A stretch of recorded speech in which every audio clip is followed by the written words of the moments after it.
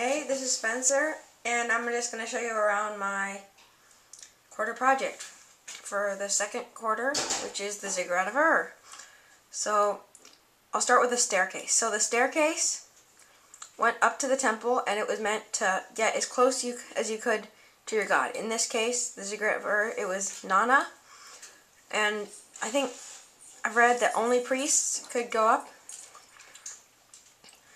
and there were four layers on the ziggurat. There was the first layer, second layer, and the third the third layer, and then they had the temple on the top. So each layer, each side had um, a little slant to make it look a little more powerful, and so it wouldn't fall over with if you blew on it.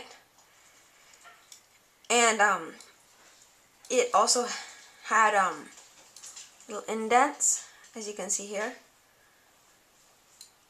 Just indented in. I don't know why that was, but it was. So, and they also had, um, on the first layer, there were weep holes, which are to let water out. Because it's a solid brick, so moisture can easily develop in the, air, and that lets it out. Um, the temple on top was for the, um,